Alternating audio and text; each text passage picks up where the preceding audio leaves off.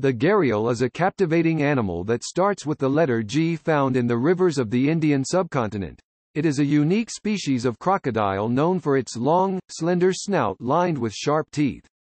Gharials are critically endangered due to habitat loss and human activities, making them a focus of conservation efforts.